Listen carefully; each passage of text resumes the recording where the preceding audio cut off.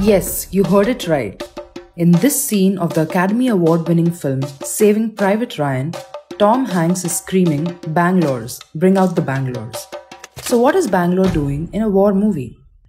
To unravel this mystery, let's rewind to the early months of the year 1910. The world was standing at the precipice of the First World War, and the British were studying materials capable of breaking through a network of barbed wires. Their search ended in 1912 when Captain McClintock of the British Army of Bengal in India, in Bangalore to be precise, developed a device, the Bangalore torpedo.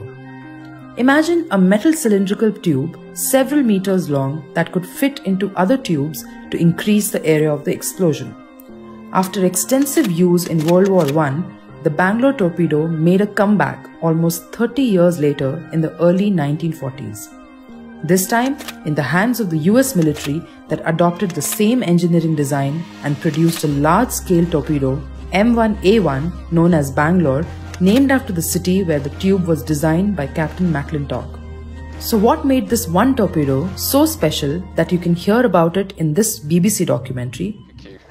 no, it's the uh, Bangalore torpedo. When the explosive detonates, uh, all the metal uh, casing forms into fragments, and then that's what cuts the uh, barbed wire. Or in the video game Call of Duty. Daniel! Use the banger! I'll cover you!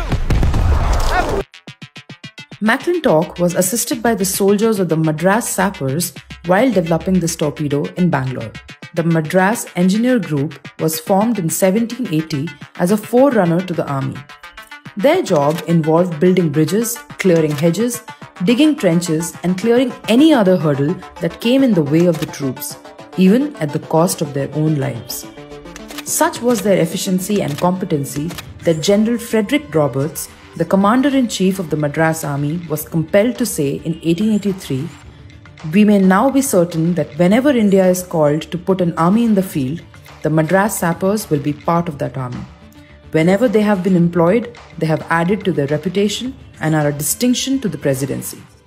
Interestingly, Saving Private Ryan, The Longest Day, The Big Red One, and Storming Juno all films set during World War II show the device being used during D Day invasion scenes. The Bangalore torpedo is engraved in world history and is still being used in modified versions by many armies throughout the world. The forces of Germany have surrendered to the United Nations.